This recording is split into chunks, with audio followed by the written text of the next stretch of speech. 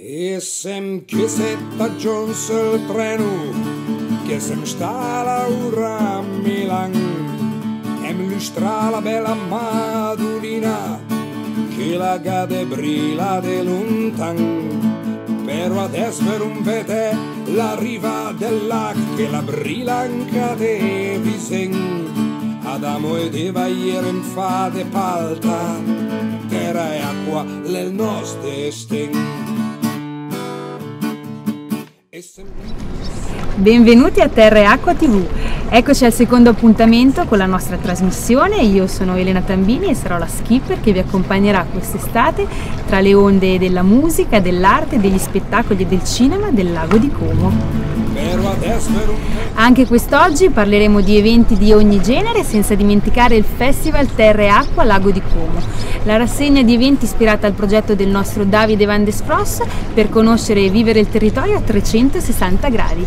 Siete pronti a salire con me a bordo del piroscafo Patria? Andiamo!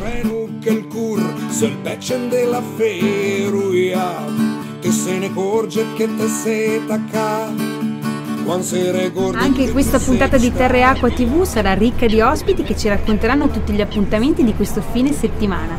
Gli eventi sono tantissimi, infatti c'è il rischio di dimenticarsene qualcuno, ma se ci seguirete fino alla fine questo non succederà.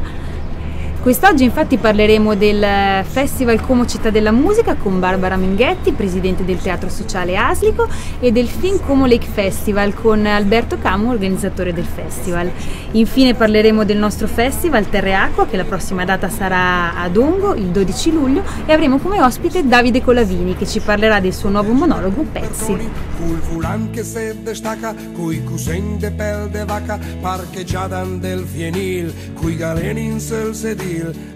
L'hanno definita la signora del teatro e la conoscete tutti per il grande lavoro che ha fatto per portare tutti, ma proprio tutti, al Teatro Sociale di Como. È Barbara Minghetti, presidentessa del Teatro Sociale Aslico, a cui do il benvenuto e ringrazio di essere qui con noi. Ciao Barbara, benvenuta qui con noi oggi. Dopo la ricca stagione al chiuso del teatro sociale si sta anche per concludere il Como Città della Musica, che porta gli spettacoli del teatro all'arena. Quali sono gli appuntamenti che aspettano il nostro pubblico questo weekend? Siamo appunto in chiusura, abbiamo giovedì sera eh, le luci della centrale elettrica con un mm. concerto per i giovani, venerdì una serata follemente per i giovani in cui l'arena si trasforma in un DJ set, quindi ci sarà visual musica elettronica, arte diversa.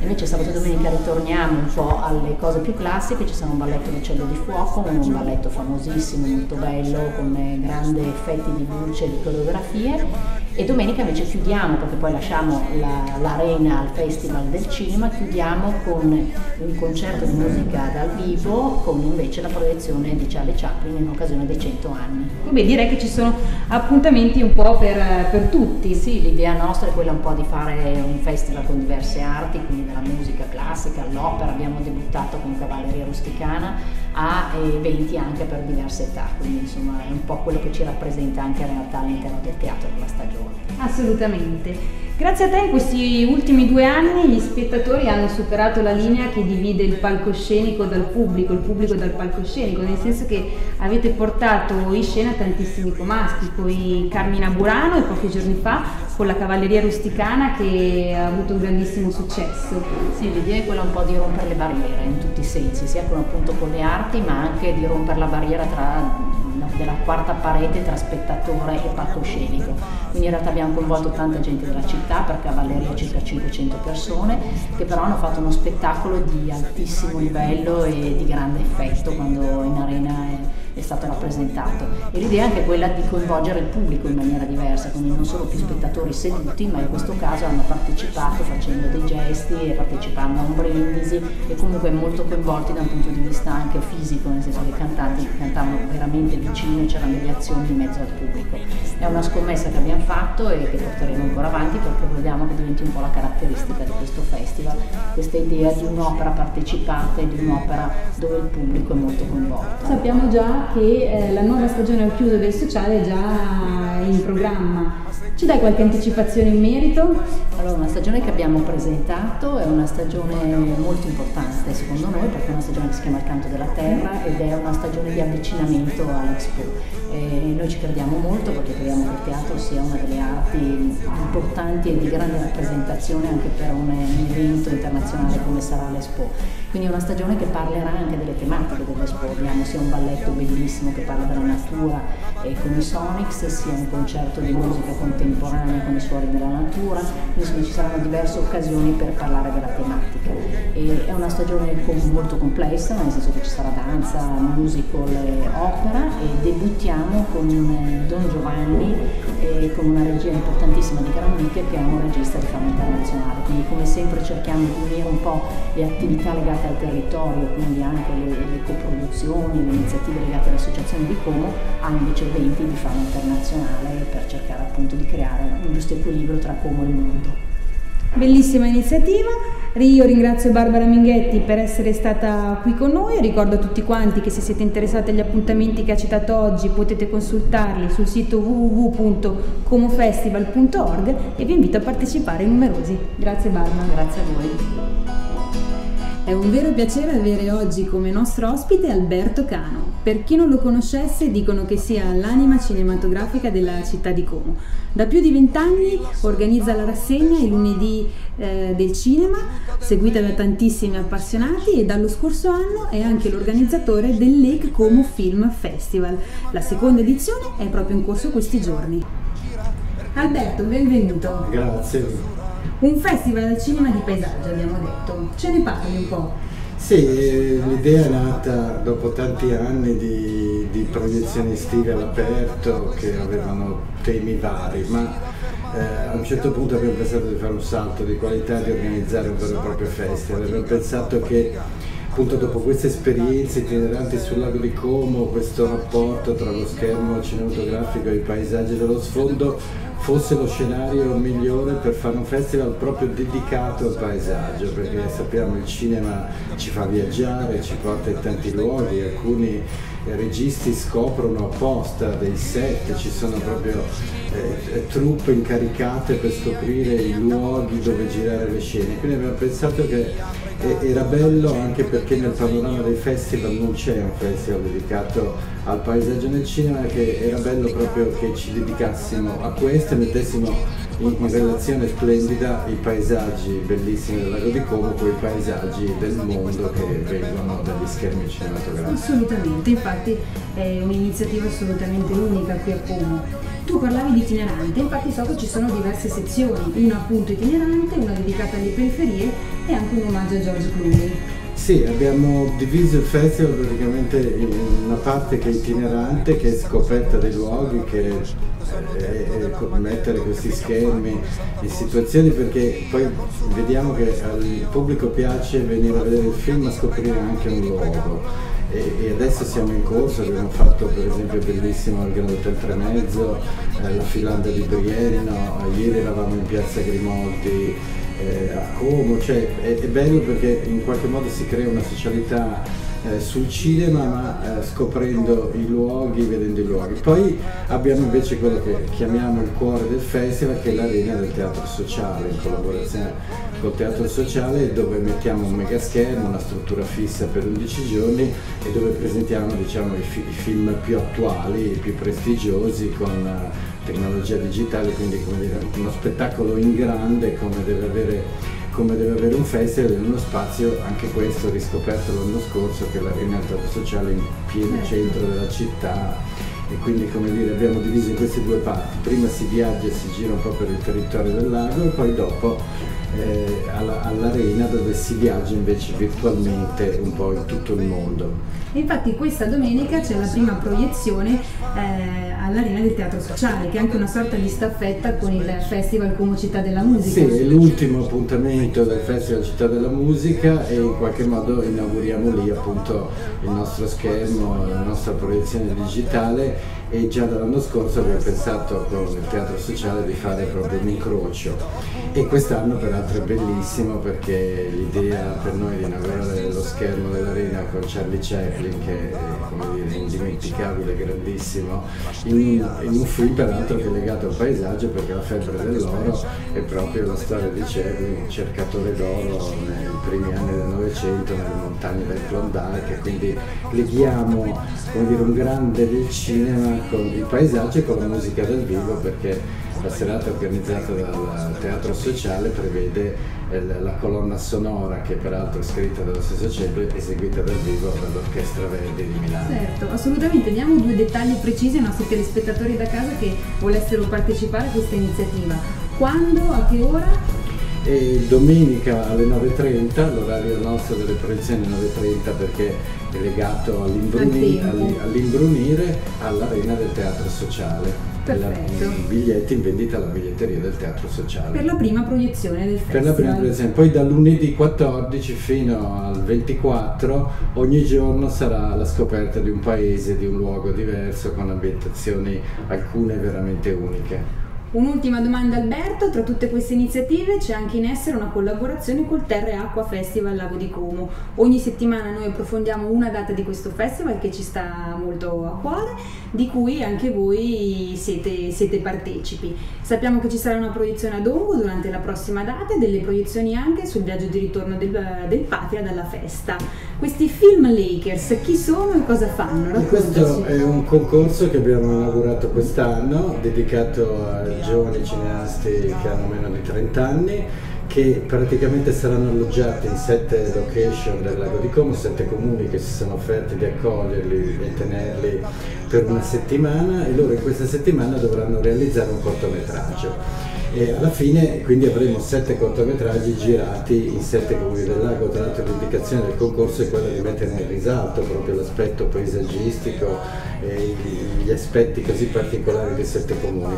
Alla fine del festival, l'ultima serata, il 26 luglio all'Angar, proietteremo questi sette corti da cui ci sarà poi un corto vincitore e poi siamo contentissimi che a parte con la proiezione che faremo all'Angar questi corti gireranno sul Patria, sul lago, quindi gireranno tra i luoghi dove sono stati girati e quindi potranno essere visti e bello anche che i comuni avranno, questi sette comuni avranno un corto che in qualche modo descrive il paesaggio. Sono sette troupe di cui due, due straniere che sono state selezionate tra una quarantina di, eh, di partecipanti al bando, ne abbiamo selezionati sette che sono due stranieri e cinque italiani, i risultati li vedremo la sera del 26 luglio, però credo che avremo dei begli scorci del paesaggio variano. Grazie Alberto, credo che sia un bellissimo modo per far conoscere il, il nostro territorio. Io invito tutti a non mancare alle proiezioni del Lake Como Film Festival e anche alle nostre date. Grazie. Grazie.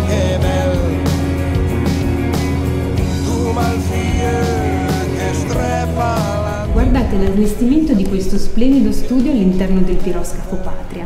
Questi che vedete non sono semplici arredi di scena, ma vere e proprie opere d'arte. Opere d'arte firmate Riva 1920, il punto di riferimento del design dell'arredo e del legno a Como e in tutto il mondo. Abbiamo qui con noi Maurizio Riva che insieme al fratello Davide sono l'anima di questa azienda. Benvenuto Maurizio. Grazie, grazie a voi. Maurizio, sappiamo che voi avete un rapporto speciale con il legno. Si può dire che eh, non siete artigiani ma veri e propri artisti. Come nascono le vostre opere? Ma siamo, siamo, artigiani prima di tutto e poi cerchiamo di fare l'artista ma lavorando, facendo le collezioni e lavorando anche uno su uno insomma sono soprattutto sui legni, cerchiamo di usare legni di forestazione, legni di riuso, andando in Nuova Zelanda, scavando sottoterra e per dire una delle ultime è il ripristino delle briccole, noi ritiriamo le briccole, non solo noi, perché è aperto a tutti, le briccole che vengono tirate fuori e anziché essere buttate eh, le lavoriamo per fare degli oggetti. Quindi io chiamo legno di riuso, la terza vita. Siete un'azienda, ma anche tu personalmente, molto vicino ai giovani. Mi raccontavi di qualche iniziativa anche fresca fresca di questi giorni? Sì, per esempio oggi sono in triennale a, a portare avanti questo progetto di Brianza Design per aiutare i giovani Eh, un'altra cosa, proprio ieri ho presentato degli artigiani su Cantù quello di creare una sorta di gruppo per poter andare in, in televisione con l'architetto Castrignano e presentare l'artigianato eh, senza riva assolutamente, perché noi ormai abbiamo già fatto questo progetto, eh, dove si presenta un territorio come Cantù che è ancora vivo e lì c'è dal fabbro in ogni direzione la produzione di arredi, la produzione di arredi su misura. Quindi ecco, questo è già parlare socialmente per il proprio territorio, perché non esiste solo la mia azienda, cioè il fatto che esista solo la mia azienda alla fine rimaniamo in un deserto. Noi dobbiamo avere soprattutto il territorio molto ricco, eh, molto vivo e soprattutto quello che non riusciamo a fare è fare rete. Adesso con Brianza Design siamo riusciti a sono riuscito a portare avanti anche con personaggi molto importanti eh, questo, questo, progetto dove sono arrivati 700 progettisti e eh, 115 lavoratori e ci aspetta un po' di mesi di grande fatica però anche questo. Intanto che sono qui volevo parlare però anche di un'altra cosa che mi sta molto a cuore. Eh, sto seguendo Villa Bagatti Valsecchi dove invito tutti i pittori e gli scultori a iscriversi in expoarteitaliana.it expoarteitaliana.it e lì facciamo una mostra di otto mesi dove eh, iniziamo la mostra i primi di marzo e la chiudiamo a fine marzo. E io voglio tutti artisti in erba, cioè non voglio eh, quelli affermati. Bisogna che chi può, anche gli imprenditori, mettano una mano al cuore e cercare di aiutare tutti questi giovani che non hanno un futuro. Assolutamente, da giovane sostengo, sostengo assolutamente questa iniziativa e anzi eh, ripetiamo l'appello di, della ricerca di questi nuovi talenti, visto che poi di arte e di cultura parliamo proprio in questa trasmissione, ci fa piacere che sia stato fatto un invito del genere. Eh, alle nostre spalle Maurizio vediamo una bicicletta che non è lì a caso per scenografia ma ha un significato molto preciso. Eh, tu e tuo fratello nel vostro Museo del Legno, che è un bellissimo museo a Cantù, sede anche della, della vostra azienda a cui invito tutti a, a visitare, avete una collezione di queste antichissime biciclette, una delle quali rappresenta un mestiere. Settimana scorsa abbiamo avuto con noi Davide Van Frost che ha raccontato a modo tutto su com'era la bicicletta dell'antico venditore di pianeti della fortuna. Ora chiedo a te, la bicicletta che è qui con noi, che tipo di bicicletta è? Allora, una bicicletta del lucidatore che andava, che andava da, di fabbrica in fabbrica intorno agli anni 20 e si portava presso tutte le finiture, no? dalla gomma lacca al turapori, che ho dovuto anche eh, pensare un attimino che erano gerghi tecnici che avevo in mente un po' di anni fa, che adesso ormai non si usa più. Il lucidatore di mobili. Il lucidatore di mobili, Quindi, sì, sì. Rimaniamo nel tema. Esatto. Quindi veniva chiamato nei nei laboratori e lui arrivava con la sua bicicletta con dentro tutto la corrente ed era il lucidatore. Io ho provato anch'io ad avere mio nonno e vedere mio nonno che chiamava anche lui la, il lucidatore che finiva a gomma lacca, cioè a pezza. Ecco, questo è un po' il discorso. Siamo riusciti a, a, trovare queste biciclette, un'unica collezione di 23 biciclette che hanno dato un impulso notevole al nostro museo, ma anche perché eh, sono biciclette del mestiere. Io ti ringrazio per essere stato qui con noi oggi, stato bello conoscere questa tua passione davvero speciale, ti ringrazio per eh, questi splendidi arredi che, che ogni Volevo settimana dire, ci faranno se è possibile, sì. che il, dal 20 settembre al 5 ottobre, mm-hmm. visto che devo parlare di rete, a Cantù verrà 15 giorni dove ci sarà la festa del legno, dove ci sarà una kermesse che dura 15 giorni e che invito tutti perché il problema è questo, festa del legno vuol dire ritirare fuori, anzi eh, far capire la vocazione del territorio della zona della, del territorio cantorino insomma. No, facciamo così, sono io che invito te a fine settembre a venire qui nuovamente con noi a parlarci di questa festa. Vabbè, vabbè, toccherebbe non a me parlare di questo, toccherebbe al sindaco di Cantone perché io sono solo eh, un promotore. Invitiamo tutte e due, molto volentieri. Io ringrazio tutti. Grazie a te Maurizio, alla prossima.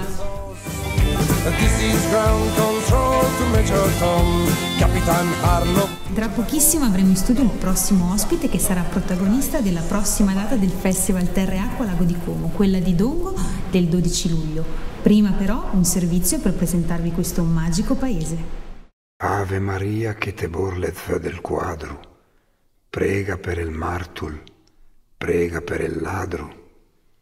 Ave Maria, inciulata là in sul mur, nella casa del magut e nella casa del dottor. Guarda giù, guarda giù, dona del rosari, semtuc lampedeng de stes lampedari.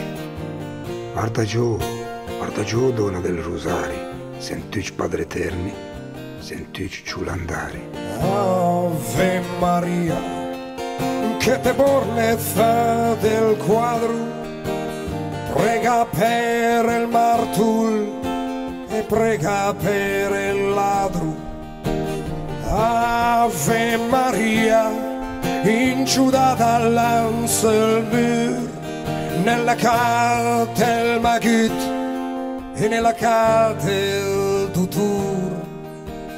Guarda, guarda giù, durante il rosari, semtuci lampede testes lampadari parla parda fardaggio dona del rosari sentici padre qui in questo portale che peraltro è autentico ci sono tutte le pietre del lago di Como c'è il marmo bianco di Musso che è nel, nel monte qua dietro la chiesa. Il nero di Varenna. E Olcio, che è proprio quello là, è rotondo, cilindrico, che è bellissimo.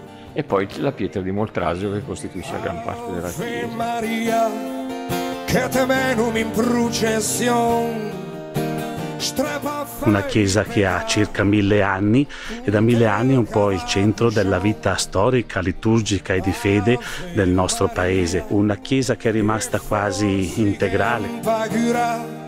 Di fronte all'altare della Madonna del Rosario, dove c'è un bellissimo pagliotto in scagliola in telvese che rappresenta proprio la Madonna col bambino ma con la corona del Rosario nella mano. Del presbiterio affrescato dal della rovere, detto il fiamminghino, e sono rimasti due profeti, due tra i tanti profeti. Ave Maria, e forse che impagura, che venga giù quei angeli con la faccia più scura. Ave Maria vestita de celeste, e se regordum de te duma su tai fest. Ave Maria, con tel cœur piede spat, guarda quel che succede giù in mezzo ai strati. de te, duma su tai fest, Ave Maria, con tel cœur piede spat. È con noi Davide Colavini, attore, regista, drammaturgo e anche cabarettista. Forse molti di voi se lo ricorderanno per il suo alter ego in Capitan Brianza. Ciao Davide. Ciao Elena, buongiorno a tutti. Davide, ci hai abituato alle risate, ma tu sei un attore completo e al Festival Terre e Acqua, di cui abbiamo parlato prima, presenterai un monologo molto particolare che si intitola Pezzi quattro giorni di Plinio. Vuoi anticiparci qualcosa? Sì, Pezzi è una, è una storia territoriale, ambientata proprio in Lombardia, in un piccolo paesino montano sopra Lecco che racconta di una piccola comunità molto chiusa dove nessuno nel 1946, l'anno in cui è ambientata la storia, nessuno ha mai pensato di uscire perché ovviamente un, diciamo, la comunità è una comunità contadina e quindi è una comunità autarchica che vive, vive lì. E per la prima volta avviene qualcosa che rompe un po' questi confini. È finita la guerra, il ragazzo più giovane che si chiama Italo quasi 18 anni, viene chiamato per la leva militare. Il ragazzo viene, eh, viene mandato a Pesaro. Pesaro per la prima volta vede, non vede vecchi paesani, ma vede ragazzi con militone, per la prima volta incontra dialetti nuovi, per la prima volta vede il mare. Complice il mare si innamora di una ragazza marchigiana, riccioli neri, bella bronzata, molto diversa insomma da magari le, le fattezze delle ragazze qua per l'epoca. In quel contesto la ragazza verrà su, la comunità verrà sconvolta. E ovviamente la storia è inventata, il comune di Mendozzo non esiste, nemmeno la località di Plinio Eh, il lavoro è un lavoro nel tentativo di ricreare una situazione che potrebbe essere successa in qualsiasi punto d'Italia, in Sardegna, in Lombardia, in Calabria, ma anche in Belgio non c'è una territorialità riconosciuta. Sono dell'atmosfera un po' dark in questo sì. spettacolo in cui tu hai deciso di coinvolgere anche Davide Van Desfros. Ci spieghi un po' eh, in che modo e soprattutto come nasce l'idea del suo coinvolgimento? Ah, Davide è stato contattato con, con voi e con un po' tutti proprio perché intanto rappresenta una territorialità eh, espressa ai massimi livelli e poi perché c'era proprio l'utilizzo del dialetto o comunque di spurie dialettali, delle influenze, secondo me erano importanti proprio perché si voleva togliere quella sensazione di horror americano dove sono tutti palestrati, parlano in dizione e tutto risulta molto finto, era proprio una storia di, di paese, quindi con tutte le sporcature che può dare la, la provincia. Quindi il dialetto uh, per ricreare la realtà del paese. La, la realtà del paese. Infatti le registrazioni audio sono quasi tutte in dialetto. Ora c'è chiaro perché anche Davide, e lui farà la voce del... Lui farà la voce proprio di Italo, questo, che questo protagonista. protagonista che ovviamente si trova in una situazione, tra l'altro poi Davide ha recitato benissimo, ci ha stupito tutti fatto questa registrazione. Un cantautore, ma cantautore uno non se l'aspetta, io parlo sempre da, da, da, vecchio teatrante no? quando dico così, però ha, ha veramente sorpreso tutti e il montaggio poi fatto dal tecnico è stato perfetto perché proprio vedi dei, dei meccanismi, dei sincronismi fantastici. Certo, infatti io vi ricordo che Davide metterà in scena questo monologo proprio durante la prossima data del Festival Terre Acqua, il 12 luglio a Dungo. Quindi noi siamo contentissimi di ospitare, di ospitare questo spettacolo. Io ringrazio Davide per essere Grazie stato con noi e vi ricordo che per consultare tutti gli appuntamenti con pezzi anche durante il nostro festival potete consultare il sito www.itinerarifolk.com ed undet et diset